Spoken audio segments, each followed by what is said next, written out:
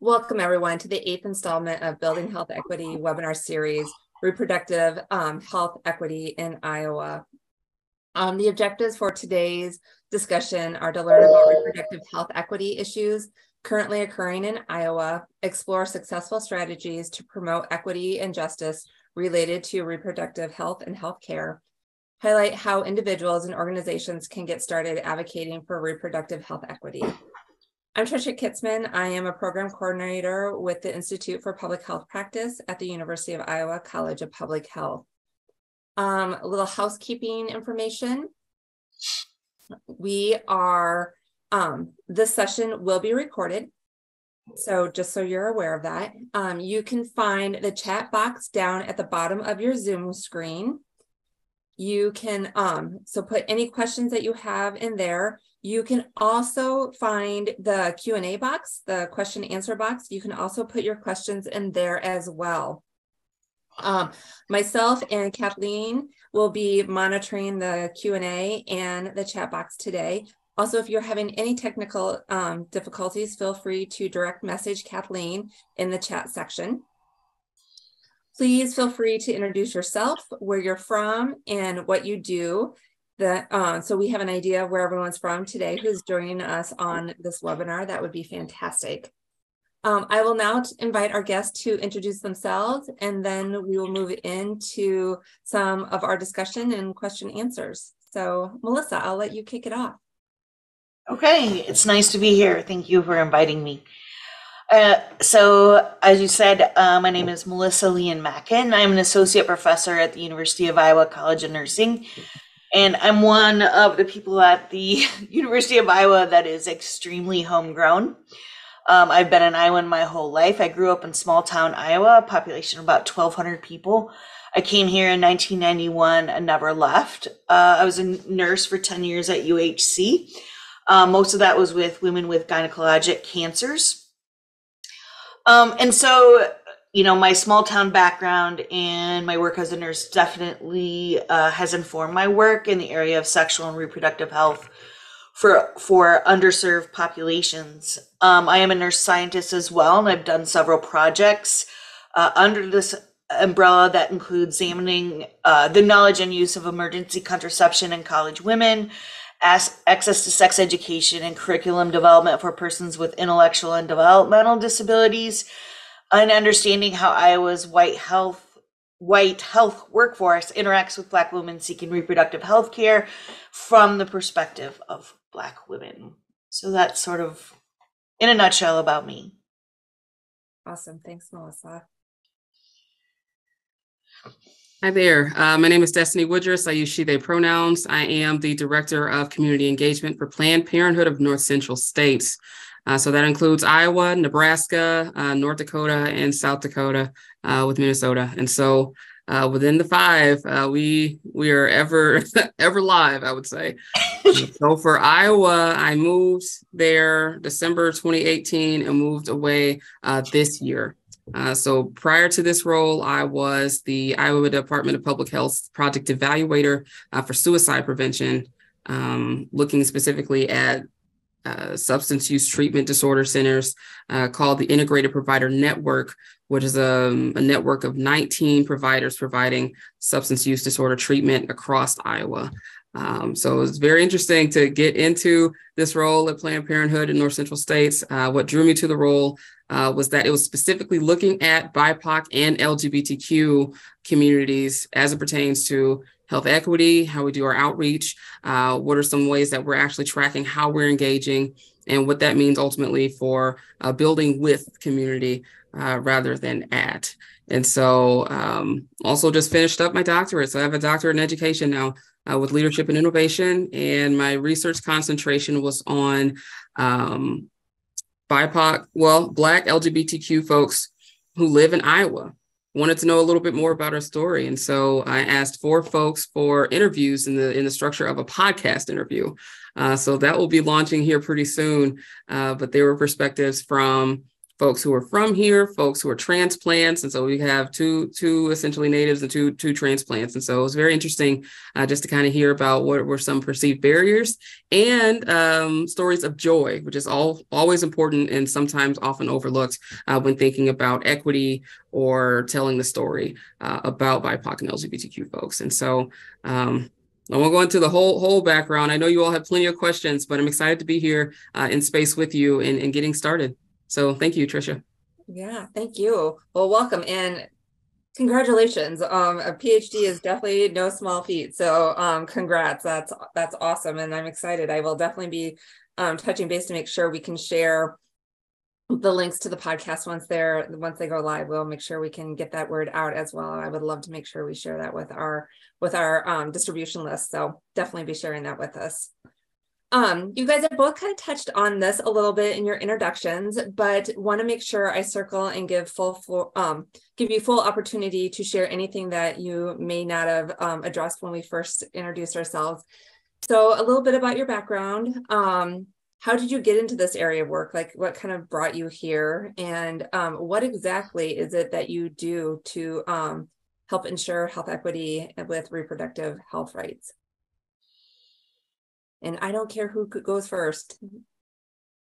Melissa, you want to jump in first? Sure. I mean, I think I shared, you know, some of uh, how I got here. And, you know, and I think um, part of it is my personality. I've always been curious and I've always um, asked, I've been that person that asks, you know, really annoying questions. Um, um, and so, you know, stepping into the role of a healthcare professional, I found that I did that a lot. You know, why are things happening the way they are? And that definitely set me on this journey to, you know, um, to answer those questions on a higher level through research. Um, uh, so, so I'd say that that's probably the biggest mechanism that I use to kind of get the word out about um, inequity and potential interventions to address those um, issues. Um, yeah, I'll leave it there and I'll let Destinee take over. Thanks, Melissa. Uh, so, how did I get here? Honestly, the job description. Now, I know it's cliche uh, to look at, oh, that job, it seems like it fits me. But as somebody who has a master's in industrial and organizational psychology, which is the study of human behavior in the workplace, it should not go discounted on how valuable it is to write a job description that is informed by a job analysis. I won't get super nerdy on you all, uh, but it really spoke to me that it called in my identities as a Black person, uh, a woman, somebody who's you know younger in the field, getting going, uh, and working with community who are coming from all walks of life. And so it was a very attractive job posting that I just could not pass up, and that I would still be living in the Midwest. Um, so I think there is such a unique culture in any state broken down by regions when it comes to how we actually interact um, with Black LGBTQ folks. And just staying within the five, it seemed very important um, especially when people think about Midwest culture and, you know, what does nice mean? You know, what is Iowa nice? What is Minnesota nice? What does uh, that actually mean for folks um, from different walks in its intersection with healthcare? And so I started to think about all of that when I saw the job posting. I said, you know what? This is something I can grow into. I felt like I checked off most of the boxes, but then there were definitely some growth uh, potential areas, which I'm working through right now. Uh, so it, it is ever a challenge, but it's something that I'm invested in. Uh, so what I do on a day-to-day basis, is this something at Planned Parenthood? Uh, this is one of our least favorite questions because we could go on and on, or we might have radio silence. But I'm going to see what I could do to have a happy medium today uh, for you all. So right now in my role, and I started January 24th of this year. So that's important. that's important to note. Uh, so starting this year, I looked at, well, what are we doing to serve our community? So right now I'm working with um, internal staff on how we can um, have some tracking mechanisms on how folks are actually being reached. What are the perceived barriers? What are actual barriers? Uh, to care? What does that mean for our training needs? Uh, so I'm asking a lot of questions um, of us so we have a better understanding of what it is that we're bringing out into the communities before we actually ask communities what can we do for you all? What are we doing with you all right now that you like? What is it that you don't like? Um, and doing it in a way that is um, intentionally uh, centering their voices instead of asking at. We're really trying to build with. And so uh, that's a little bit about what I do. I do a lot more strategic planning uh, right now and, and figuring out what what it is that we can build with the the community. So it's a it's a reframe and a shift of how we had current how we had been operating, uh, but it's something that's ever important and ever apparent that we just need to keep doing, which is centering community voices. So that's a little bit about what I do, and now maybe not each day. Each day looks a little bit different, but that's the crux of it all uh, for me. Awesome, thank you both.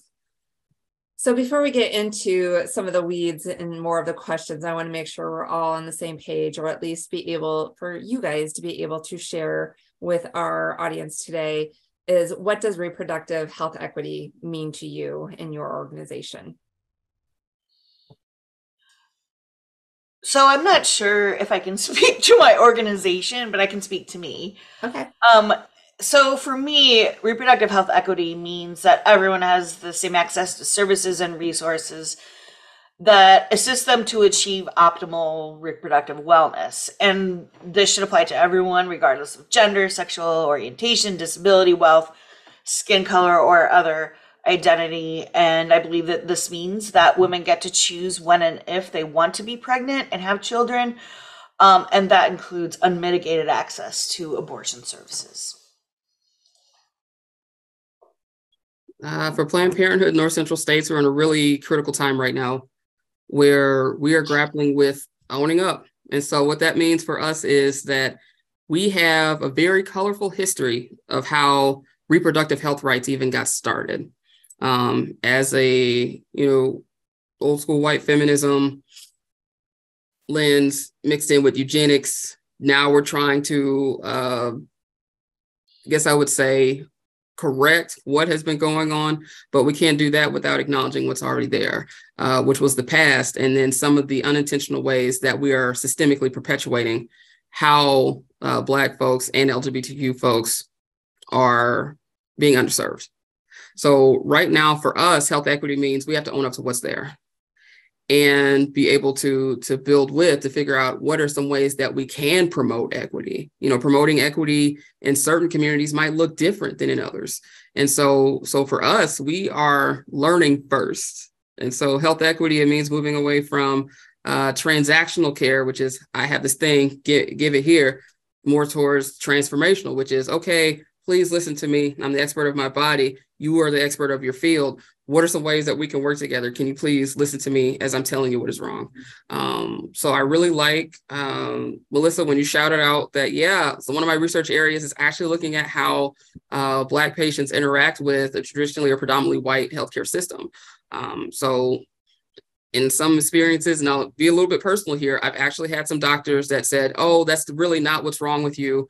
Um, we're just listening to what we're saying on this. I'm just like, I respect your area of expertise and I need you to listen to what I'm saying. but yeah, but that's not. And so moving away from, you know, in, intentionally in these instances, gaslighting people to actually building with and understanding where they're coming from is health equity in practice. So folks can get the care um, based on who they are and what we're trying to build as community.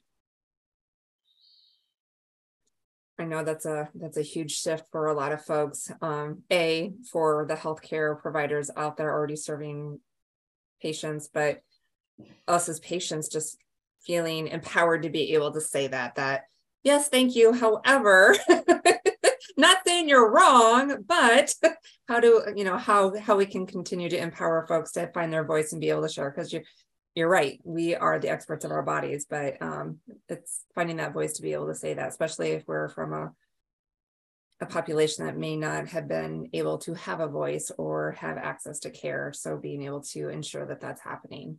So thank you. I really um, that's powerful for me. Um, so what are the current issues or concerns related to equity and reproductive health care in the state of Iowa? Destinee. Destinee, you you, want to, you want me to go? Go Okay. goes. Okay.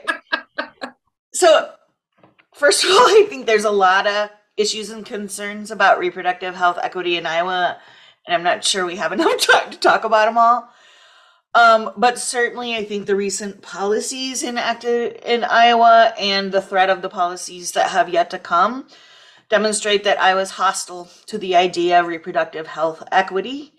Um, you know, and, and I'm talking about in 2000, 2017, the decision to uh, leave the federal Medicaid uh, family planning group so that uh, a bunch of Title X clinics uh, got closed, as well as, um, you know, the restrictions on abortion care during the pandemic. And, you know, although yesterday an Iowa judge blocked the ban that would eliminate most abortions, I think there's still so many restrictive policies uh, that remain in place.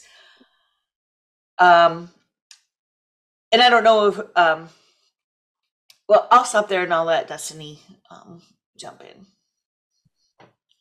Okay, excellent points. Yes. And uh, the 15 like anti-LGBTQ bills that were introduced, they didn't pass. You know, thankfully, when I was on the scene and folks who kind of help support and, and show up in that way.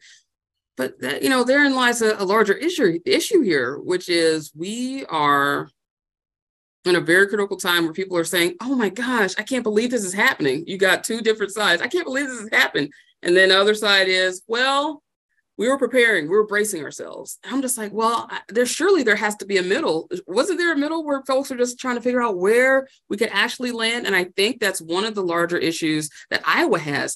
But nationally, that's what we've got going on. Our people are really trying to find their foothold here. And um, speaking of old old school feminists, you know, I'm, I'm in groups with a lot of folks, and and one of the the people that I hold near and dear to me, she's in her 80s now, but she was just like Destinee. I think it's ridiculous that we're still having these con- these conversations. I've marched. I've got arthritis for marching. And we're still going through this. This is ridiculous. Um, to the new school going, well, here we are right now. What does advocacy look like today? Um, and so uh, Iowa's issue is not a unique issue in that we're still trying to figure out what we can do um, to promote health equity and, ra- and racial and you know sexual reproductive health justice.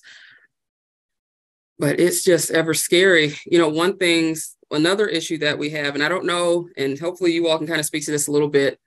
When I was still living in Iowa, there was a teacher shortage. And in some of the schools, and I'm speaking even specifically for Des Moines, uh, I'm like, okay, that's an issue uh, for so many reasons.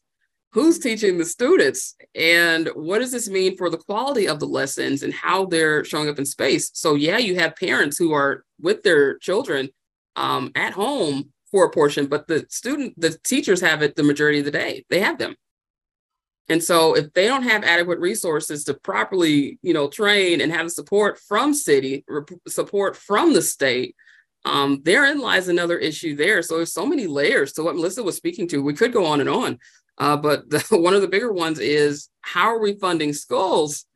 And uh, of the schools that are uncomfortable with broaching the topic of sexual and reproductive health, how then can we partner uh, with with folks and organizations to provide uh, that type of service? Because if students uh, and, young folks and communities aren't receiving uh, that care from quality trained professionals, they'll find resources. We don't know how quality they are. And so uh, therein lies another issue. But anyway, I'll stop there.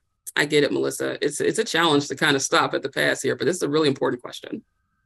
Absolutely. Absolutely.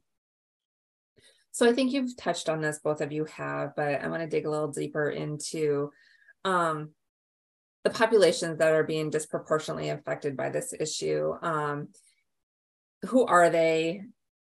What are what are things that you're hearing through your work um, of experiences that they've they've had? And how do we start kind of addressing some of those those populations that clearly are being disproportionately impacted but um, how do we how do we change that? What are some of the small steps? So first who are they? What have you heard from these populations if anything? And um, what are some of the steps that we may be able to start looking at as we um, talk about this today you know um, being able to give some action items possibly to some of our um, folks that are listening in some things that they can do to maybe change or pivot in the work that they're doing locally.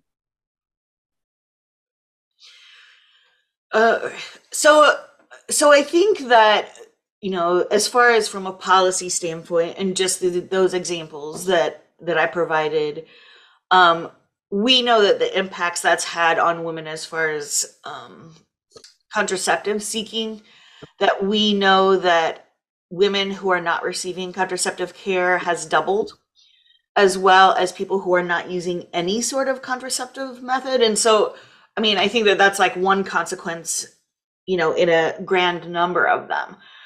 And and I think we know these things in general about Iowa, but I and then I also think we know that if that's the general consensus, we know that our communities of individuals who um, lack health insurance or live in poverty or people of color live rurally have a disability that those people are um, affected disproportionately and we already know things are bad for everybody and then things are worse for them you know just as an, example you know the likelihood of a black woman dying in Iowa from a pregnancy or childbirth is, you know, three to five times higher uh, than a white person. Um, I mean, I think that those are examples of very real consequences um, that result of exclusionary policies. You know, and I could even provide an additional example. I have a child that identifies as transgender. And from a family and not a researcher standpoint, I fear for their safety because of the the context that these policies and attitudes have created. And I don't even know that we've seen the full consequences of that yet.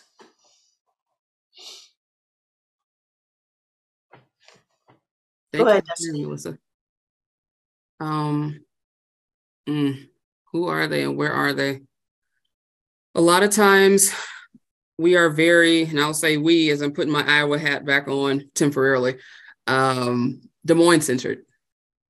You know, we there of the 99 counties, the majority of them are rural. So I'm even thinking about the rural communities um, that might not have a community youth concepts or um, food drives that are or mutual aid funds that are you know so well stocked. I'm thinking about the rural communities. So folks who are in rural communities might not even have a primary care doctor that has access to get some of the some of the, the stuff that is standard, you know, in larger cities. Um, so a lot of times what's needed is coalition building and accessible coalitions and um, community advocacy groups. And, and sometimes when you think about rural communities, you don't necessarily think about, you know, the black and brown folks that live there or the LGBTQ folks that live there. Um, sometimes it's just like, okay, everybody works at this one factory or everybody does this one thing. Uh, but there are some some real opportunities there to really get in there and figure out, well, what are some things that we could tailor a bit or could work with? Um, and so what I have been hearing from folks is that the rural the rural Iowans are still there. They're still in existence and the realities that are faced county to county um, is so re- not even regionally specific that it's very hard to have an approach where an outreach strategy is going to work unless you're actually building with the the coalitions and the and community folks that are in there so a lot of times it's it's trust building that's needed and and figuring out that you're not trying to go in there and tell them what they need, but rather you go in there and say, well, what what do you need from us? Or what type of resources are working for you that you just might need more of? Um, so it, it is is very uh, community centered um, approach that we think about at Planned Parenthood North Central States, and that I'm fortunate to have uh, that lens of as, as the director of community engagement, but more importantly, on a human level, um, there are folks who have skills. Everybody has a skill, but not everybody has the the vehicle or the mechanism to be able to bring that up in spaces where it could actually be utilized uh, for community good. And so, um, what I'm hearing is, yeah, rural Iowa's definitely still here, And there are Black folks, Brown folks, LGBTQ folks who live within those spaces who might not even feel safe enough to disclose who they actually truly are in their fullness. And so, you know, we've got a real opportunity there to even work with them, uh, to work with community members to figure out what we can do to start there first.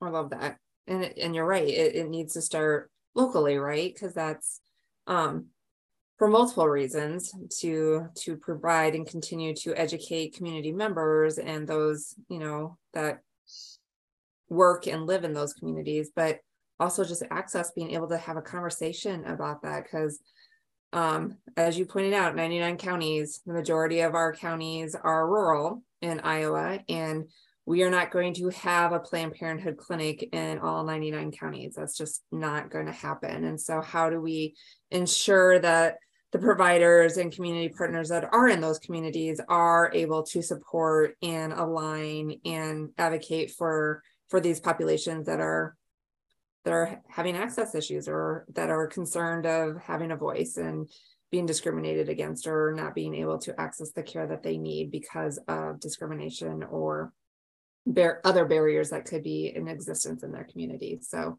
very valid points very valid points. Um I think you both have touched on this a little bit, but in your opinion, what is the impact of legislation on some of these issues? Um, now, um, I know there was one quote unquote possible win that um, we that the abortion um, was withheld, um, the fetal heartbeat was with uh, upheld yesterday. So that was not, um, so that is still something that um, did not pass yet in the state of Iowa, but I think we are all fully aware that that's probably something that's still going to be continuously coming, um, raising its head and being brought forth for um, policy and legislation. What are other concerns or other areas that um, could be concerning or things that maybe there's, maybe you have an idea of a different piece of legislation that needs to be brought for forward that could be beneficial in helping address some of these health equity issues? I have a lot of ideas for policy, but I'm not sure who wants to listen to them. hey, clearly you've got you've got some sort of platform. We're all here listening, so but no, I completely understand.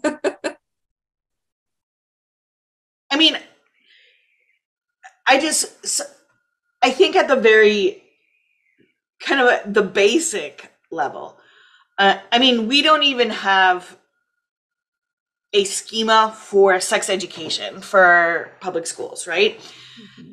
Um, I tried to for a, pro, a class project back in. I tried to dig in into that, and it is so confusing. Like it, it'll say, it says things like, "You should use evidence based whenever possible."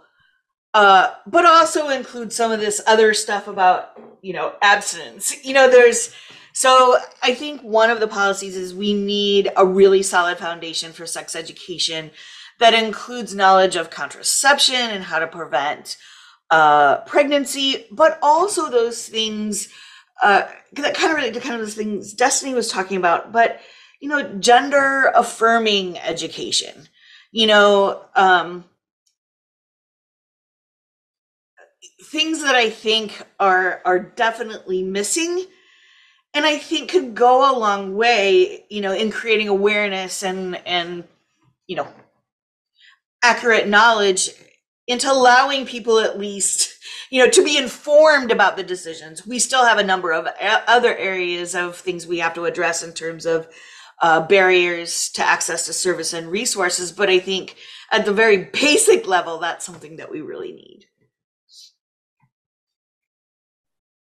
Solid points, Melissa. The only thing I would add is I don't know about legislation needing to be introduced, but I can think about what it means for the types of legislation that's being that's introduced.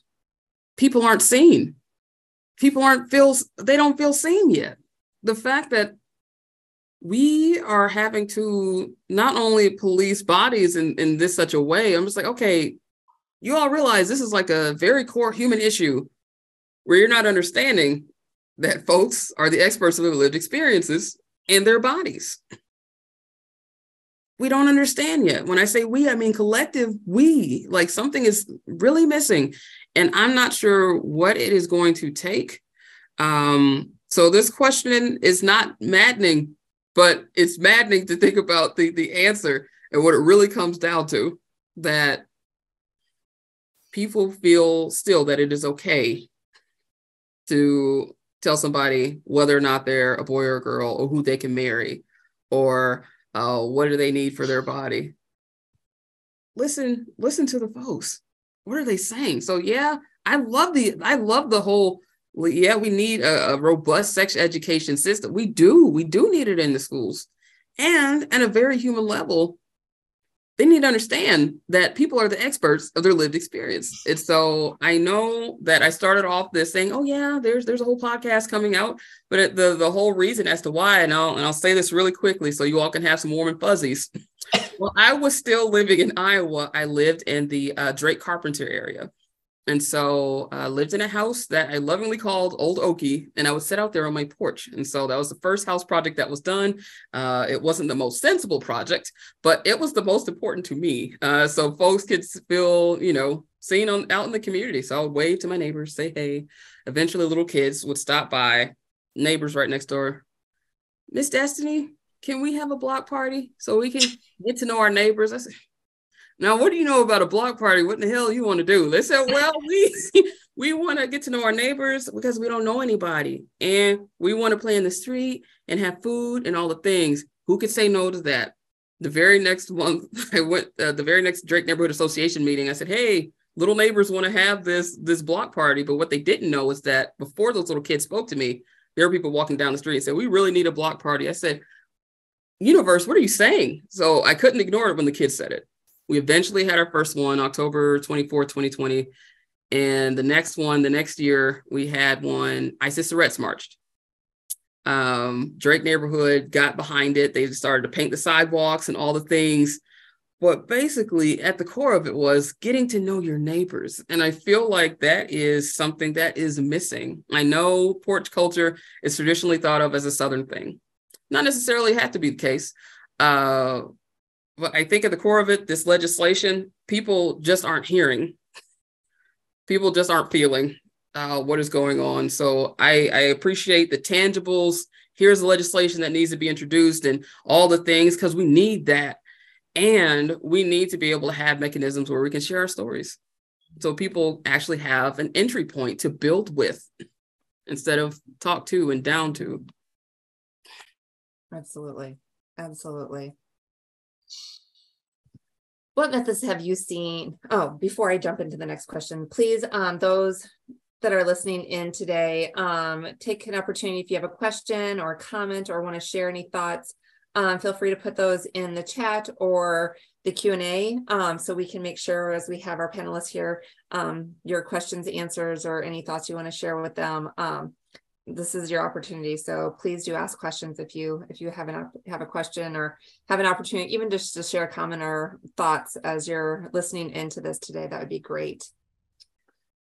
So next question, um, what methods have you seen successful in helping people who need reproductive health navigate the resources and the care that they need? Destinee, why don't you start this one? I feel like I've been going first for all of them. Okay. So, for what I've seen so far, uh, Planned Parenthood has patient navigators. And so, if somebody is feeling like that, yeah, they know how to advocate for themselves, but they might not have the lingo, or they just would feel somebody feel like somebody else would be able to help them out. We have the patient navigators to kind of have the the warm I wouldn't even say a handoff because they're not really leaving them at a certain point, but we'll call it a warm handoff for this instance where it's like, okay, hey, we have this patient here. Um, they're here for services. What, what do we need to do? Um, that has been really helpful. Um, even prior to folks getting getting services, it's just a matter of having the strength to to get to the place where there's like, actually, I need I need the services and I know where to go. So a lot of times we don't see the patients yet. Uh, it's our marketing, it's the comms. Um, and it's outside of Planned Parenthood too. Like we're really big on figuring out who we can work with to provide services. Doesn't always have to be us, and that's a whole thing. Uh, but in, in building with the community, it has been about what is our marketing and com strategy? Can people find us? Uh, how are we getting the information out? Um, so translation services are really big for us um, in the in the field, and especially within sexual reproductive health, when we know translation is huge. And not only translation, but okay, how do we follow up? How do we know the message is actually getting across? And so there's a whole communications plan, but you know, so, so we're trying to alleviate some of those barriers to care on the back end before we even see folks uh, before they even hit the office. But so while they're in the office, a lot of okay, what can we do uh, to make it comfortable? Um, and also, there are some real needs for us to do training on how we're engaging with folks, um, whether they're Black, LGBTQ, um, folks who are traditionally underserved. And so there are definitely some training opportunities, but the things that are working well is probably the communication strategy that we have. And once folks are in the door to actually feel supported and seen in the space. So I think in some ways about successful methods is is it's a tough question because I think if we did know, we'd be doing it maybe. Um, but and so I'm not sure if this is the answer that people are looking for, but sometimes I think some of the most effective strategies are a little bit in the stealth mode. like, for example, um, when I've taught sex education, you know, I try to empower the young people in my class and tell them that they are walking out of their this class with more information than most of their peers. And so I encourage them that when you hear your friends talking about something that's not correct, you know, gently correct them and give them you know the correct information and position yourself as a source of reliable information and and i mean knowing what i know about adolescence and and sexual health the their peer peer information is important and so if you can actually manipulate that a little bit uh, it's better um, and the other thing that this that underscored this for me too is um, a few years ago, my grad student did her dissertation research on uh, women in non-core Iowa counties, so the most rural Iowa counties.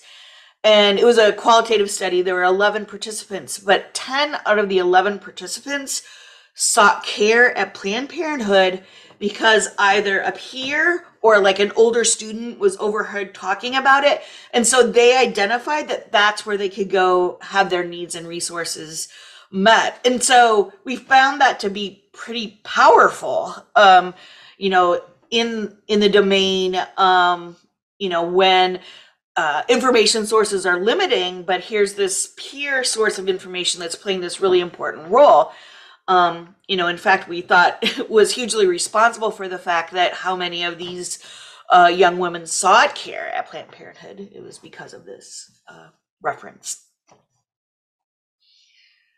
I think it's interesting. Um, so I probably haven't disclosed this yet. I probably some folks though on the call know. So I um, currently work for the College of Public Health, but I come from local public health for 20 20 years. Um, i worked for the state for two or for five years and then 15 of those the last 15 years i was at the local public health um, level.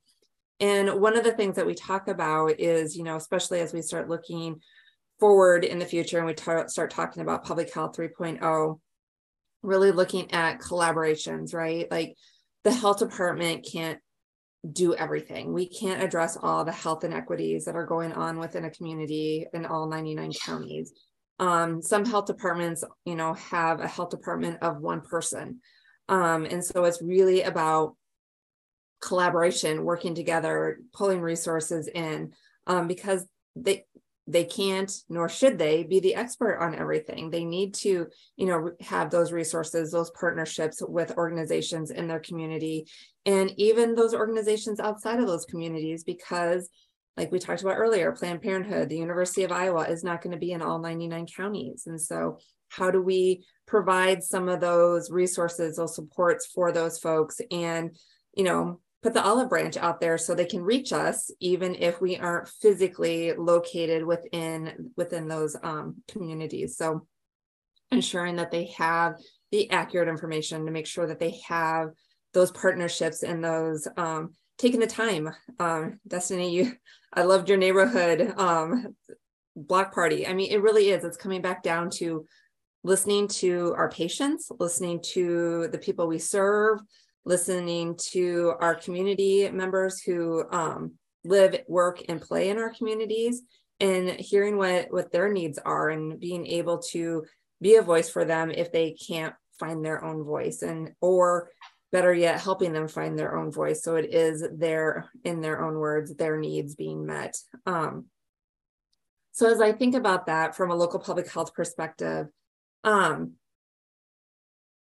I think something that would have um, helped me and several of my colleagues as we, you know, as we talk about sexual health, um, obviously, you know, outside of um, reproductive rights and reproductive health, we also know um, from the pandemic, and this actually kind of started prior to the pandemic, was the rise of STIs. Right, we're seeing a huge, a huge rise in STIs um, across not only the state of Iowa but the nation. It's it's a it's a significant increase over the last several years.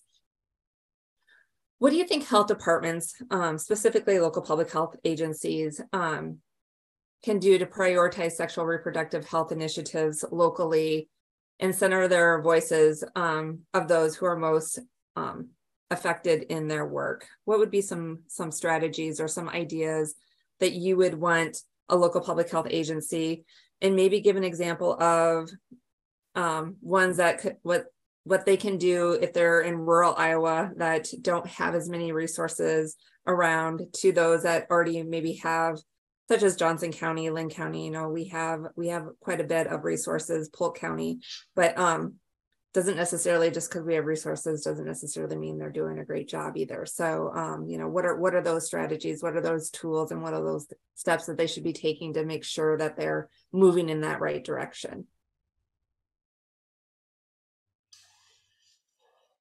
Destinee, you want to go first? Go, Okay. Uh, so I think, you know, what the whole climate uh, surrounding reproductive equity in Iowa, um, I think it it has compounded an existing problem that there's a lot of mistrust for health systems and organizations um, because of how we've his- historically treated people um, who were marginalized. For example, Black people, other people of color, um, LGBTQ plus folks, immigrants, non-English speaking folks. Um, and so, so I think this level of mistrust exists, and then the current climate just compounds that. And my friend and colleague Lynette Cooper says you have to go into that relationship assuming that the trust is broken and you start there. So public health workers may feel that they're they're uh, executing these programs and initiatives, and and they're likely, you know, certainly a way to decrease, you know, decrease disparities. But I think you have to remember that you represent the system that that has a long history of oppression, um, and that you have you have to remember that you represent, you know, that system that's been doing that and I think that that's especially, you know, true for people who look like me, you know, um, who or uh, have similar identities, because I think um, you have to recognize beyond yourself what those particular circumstances and identities are that are contributing to distrust. I think that you have to go into any initiative and approach us thinking that you're not only going to impact the reproductive health, but in an effort of taking time to know the community, their fears and concerns and goals, um, is important to the success of that uh, program. So I definitely think trust is a key issue that has to be uh, addressed. Um, I think you have to make strides just to step into other people's shoes and understand how their lived experience as a marginalized individual or group has impacted their health. And I think once you kind of have that understanding, then you can kind of step in and say, okay, what are, can we do about your reproductive health needs? But honestly, I think there's some work that has to happen prior to that point. Yeah, well said. And the only other thing I would add is I know we have community needs assessments that we do at the local level that feed into um, the larger Iowa Department of Public Health or Iowa Department Public Health and Human Services. I know there was a murder uh, or something in progress. Iowa Department of Health and Human Services. There we go.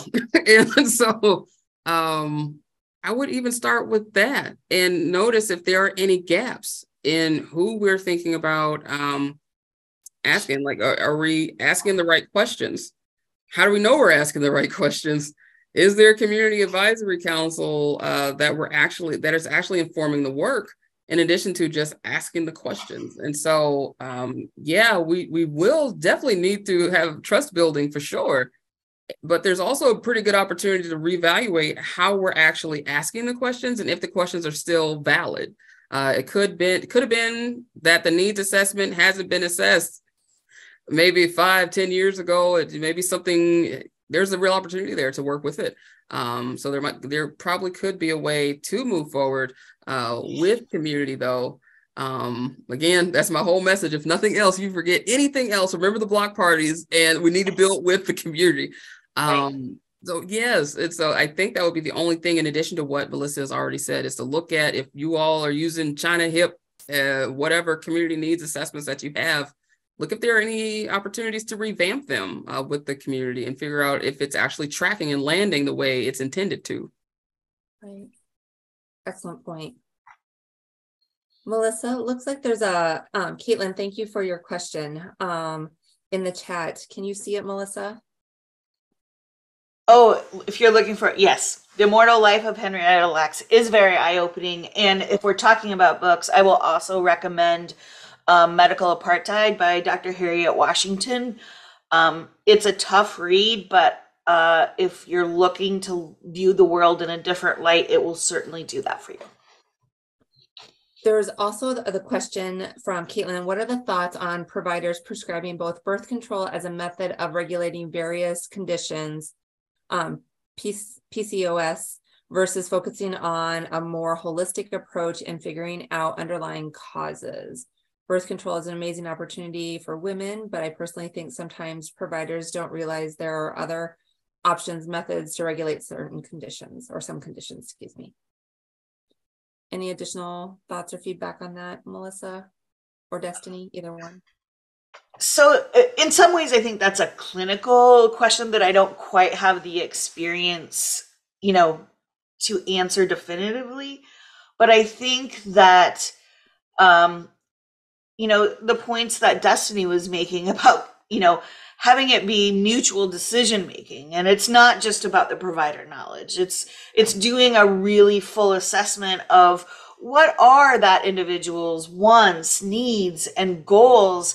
And then what how can from what you know about you know medications or contraceptives and matching that um i mean it could certainly be that providers don't realize there there are other options. But i i think that that's you know you're kind of recognizing part of the problem is that there needs to be this holistic assessment so that you know and mutual decision making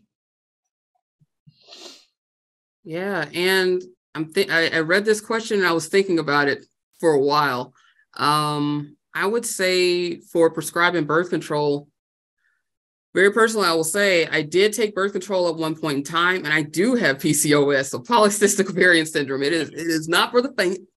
Um, and I started to notice, well, yeah, so it's working here, but God, I'm worse over here. So being able to work with a provider that will actually listen uh, to you when you say, "Here's how this is working for me," is critical. Uh, but that that is definitely a clinical question, and shifting the culture of clinical practice means that, yeah, even though we know that something has worked in a particular setting uh, for certain groups of people, it's not going to work for everybody. So even just kind of shifting um, the culture of how we learn and and learn with communities is something that's going to be ever important uh, whether you're in clinical especially in clinical whether you're in clinical or if you are one of the the boots on the ground as we have organizers Uh, so there's definitely, again, there are just opportunities to learn here, uh, but to figure out how we're actually connecting with community um, on what are methods of care that will work.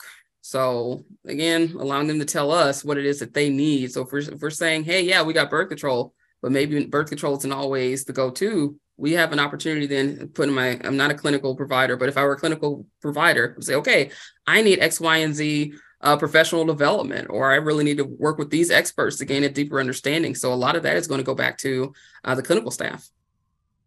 Which I think kind of leads into Jackie. Thank you for your question. Um, the question is Is there any work on educating doctors or medical practitioners on how to respect a patient's perspective? As you mentioned, many times the concerns are dismissed too easily, even though we are the experts of our bodies. Or at the very least, teaching young women to advocate for themselves when dealing with medical um, providers. I I find many young women know nothing about their body, so they are not able to advocate for themselves. Um, this is where sex ed comes in, of course. Absolutely, I think that's that's. I think the key right there is is the sex education piece and starting young and starting early is is crucial for for young ones to feel comfortable using the word penis and vagina and not um, being embarrassed that they have one or the other and being able to talk about it. Um, i'm a i'm a huge advocate for sexual health and sexual um, education um, because i think it's our society already makes sex taboo. So if we are already ashamed to use the word or say the word penis in a webinar, then we we need to address that. We're not going to get anywhere, no matter how good we are anywhere else. No one's going to feel comfortable being able to address this if I can't tell my own doctor that something is not right with my body and I don't know what my body parts are. But is, are either one of you aware of any type of additional training or opportunities for that are being offered I to think, providers? I think that we're starting, at least in the healthcare arena, we're starting to see a little bit of a boom of some of these programs. Um, uh, I, I think the, what's problematic right now is that some of them are siloed with specific groups of providers. And I haven't seen one yet that is really expansive and can serve a broad um, audience although I think we're starting, to, you know, we're going to start seeing more of this. And I'm also know some colleagues who are starting to evaluate the outcomes of those programs. So I think that we're on the cusp of seeing um, more, but um, you know, some of it also is going to require a change in how we educate providers. You know, there's a very paternalistic hierarchical structure of Western medicine that permeates, you know, and so we need to get rid of some of that so that we can build on a model of more mutual, you know, decision making. And so, um, some of it is going to be learning and some of it's going to be unlearning as well, I think. Well said. Very well said. And the other other bit is I don't know what's going on outside of Planned Parenthood and specifically how we're educating uh, practitioners. Uh, but for us, what we're working on right now, one of my colleagues, shout out to Tim, who's not on the call, uh, has said, okay, Destinee, my role is going to shift. Not only am I going to be training in community ed and ed- community education and engagement, which is the department that I'm in, he's like, now I'm looking at doing external stuff like for clinical staff. I said, all right, Tim, what are you up to? And so he told me that he is working on revamping uh, the clinical training model uh, to include patient experience in with it. Um, so how we're actually connecting with folks and how we're actually respecting them when they're saying, hey, X, X Y, and Z is going on. Uh, whether they're BIPOC or LGBTQ, there are certain things that, that have been going on. I will say, hypothetical example, there may think of it like this. There could have been a doctor that may have said at one point, oh my gosh, your hair is really pretty. And uh, is it heavy? Like, what are some things? So then the doctor is sitting in themselves in the moment rather than on the patient's care and experience. I'm just like, okay, we can just stop thingifying uh, Black women and Black individuals and just BIPOC and LGBTQ folks and focus on the care. Mm-hmm. The research that you want to do on hair afterwards, I respect it, here for it. You should do that on your own time. And not expecting me to be the expert for that for you in that moment when the when the care should be about me. Uh, so just want to put that out there that there are certain there are certain situations to where that happens to people. Um, so I can tell you what's going on with Planned Parenthood, in North Central States. Uh, that there is a there is a training model that's being revamped as we speak. Uh, but what's going on outside of it, I'm not quite sure. But there is definitely uh, room to grow with community and spe- specifically uh, medical practitioners. Uh, and I think I'll I'll just take a minute and put in a plug for my research team. So I'm collaborating with Dr. Lynette Cooper, um, who is a clinical provider uh, and a Black woman, as well as Lastasia Coleman, who is a midwife at the College of uh, Medicine and also identifies as a Black woman. And so it, uh, the current study that we're doing, where we're asking Black women to tell their stories about when they sought reproductive health care. And we are creating stories that both represent gaps in their treatment, in, in how they were treated. But the other question that we're asking them is how they would reimagine a clinical interaction. What would be a clinical interaction? How would you change this clinical reaction to be something that really met your needs? And our goal is to use that in uh, education. That part of our plan isn't necessarily really filled out yet, but but um, you know, we have some of these these ideas of how we can take the information that we gain, the stories that women have told us, and actually make change um, with them. Awesome. That's fantastic. Thank you for letting us know. Um, we have a, about three minutes, a little less than three minutes left. I'm going to ask the last question so you can leave some parting thoughts. Um, if an organization or individual has not been involved in reproductive health work before, but is interested and has a passion, um, where do you recommend them? Where do you recommend that they start?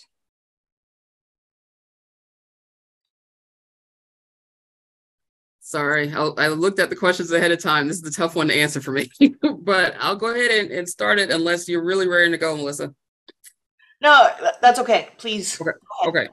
So, you know, for, for Planned Parenthood, we're pretty easy to find. But I would also challenge you, in addition to Planned Parenthood, look at some local resources. There are folks already doing the work um, in your local community. So I would just try to find them uh, if, you, if you were able. Um, to connect with them and figure out what of the resources that they have, what are some, you know, listservs that you could be a part of, or and ask them, how do I have critical conversations with with family members? They love that stuff. Uh, so yeah, Planned Parenthood is very, very well known. Uh, but also think about some folks who've been in your communities for a long time doing doing this type of work. It would make their day, and it would help to make the, the local communities a lot stronger. And I would also say not only looking at Planned Parenthood, but also possibly reaching out to the uh, um, oh my gosh, I almost said Iowa Department of Public Health, Iowa Department of Health and Human Services. You know, they have an HIV bureau um, HIV and STI Bureau that does work on sexually transmitted infection prevention, HIV prevention. They have reproductive health, family planning. So, you know, even if they, um, you know, they're they're at the state, they'd at least be able to make some of those connections for you. There's usually listservs with information to be able to join as well. Um, with that, I was very fortunate to be um, to be in a larger work in larger communities. So usually kind of knew what was going on, but it doesn't necessarily mean um, you know you have to be alone in that work. There's there's folks out there already doing some of those boots on the ground. So don't recreate the wheel. Reach out to partners or reach out to uh, your neighboring health department or the larger health departments that you know where some of that funding for some of those programming is going and asking them where did they start? Because you know everyone starts somewhere. So it's just taking that first step of putting that olive branch out there and I think some of the advice that I give my um, students that I teach is is if if this is you know something you want to you know elevate your voice and make change that al- aligning yourself with a known en- uh, entity that's already advocating for this issue um, so they can provide tools models and then amplify your own voice.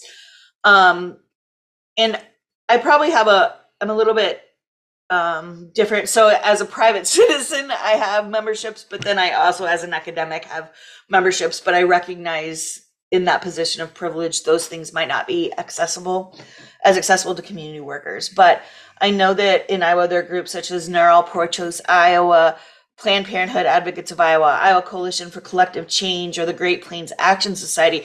And those are just a few organizations that I know have participated in activities uh, supporting um, reproductive health equity in Iowa. And a lot of these may even have a voice at the national level. Uh, so, kind of joining with them gives you a lot of bang for your buck, um, uh, to use a probably overused phrase. Mm-hmm.